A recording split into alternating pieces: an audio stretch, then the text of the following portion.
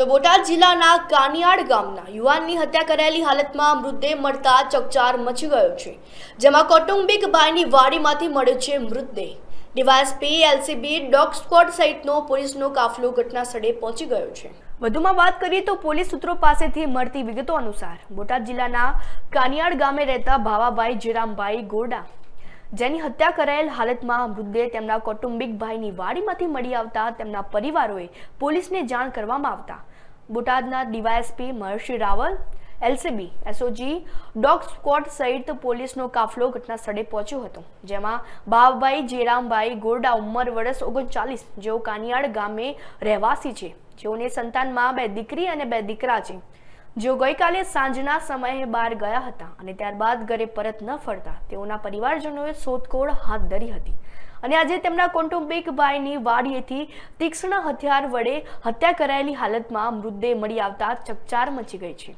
આ સાથે કાનિયાળ ગામે સીમ વિસ્તારમાં ભાવાભાઈ ગોડાનું તીક્ષ્ણ હથિયારોના ઘા ઝીંકીને હત્યા કરાયેલી હાલતમાં તેમના કૌટુંબિક ભાઈની વાડીમાંથી મૃતદેહ મળી આવતા પોલીસ ઘટના સ્થળે પહોંચી ગઈ હતી અને ભાવાભાઈના મૃતદેહને પીએમ માટે હોસ્પિટલ પણ ખસેડવામાં આવી છે. જ્યારે હત્યા કોણે કરી છે? તેમજ હત્યાનું કારણ શું છે? તે હાલ કારણ હજી અકબંધ છે. પરંતુ હત્યાના મામલે પોલીસે વધુ તપાસ હાથ ધરી છે. તેમજ આરોપીને પકડવા અને હત્યાનું સાચું કારણ માટે પોલીસે અલગ અલગ ટીમો બનાવીને આરોપીને પકડવા ચક્રો ગતિમાન હાથ ધર્યા છે. અને બોટાદ ડીવાયએસપી મહર્ષિ રાવલે જણાવ્યું હતું. અને બોલી ગઈ ચાલે. તેમ, તેમને જે તેમ બોટાદ ડીવાયએસપી મહર્ષિ રાવલે જણાવ્યું હતું. તેમ બોટાદ ડીવાયએસપી મહર્ષિ રાવલે જણાવ્યું હતું.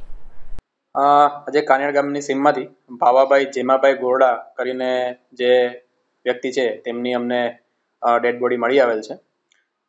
ઉંમર વર્ષ ઓગણચાલીસ છે અને કાનિયાળ સીમમાં રહે છે. આ અન્વયે પાડિયાદ પોલીસ સ્ટેશનમાં તેને પોસ્ટમોર્ટમ માટે ખસેડેલ છે તથા આગળની તપાસ છે તે પીએસઆઈ છે તે ચલાવી રહેલ છે. હત્યાનું કારણ શું હોઈ શકે એવું કંઈ જાણવા મળ્યું છે? તીક્ષ્ણ હથિયાર દ્વારા તેને ઈજા પહોંચાડવામાં આવી છે તેવું પ્રાથમિક દ્રષ્ટિએ જણાય આવે છે. ફોરેન્સિક પોસ્ટમોર્ટમ કરવા માટે અમે બોડીને ખસેડી છે ત્યારબાદ ચોક્કસ કારણ છે તે અન્વયે અમે તપાસ કરી રહ્યા છીએ.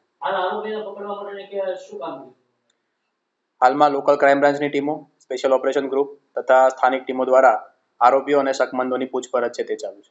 લાલજી ચાવડા સાથે live twenty four news Botad.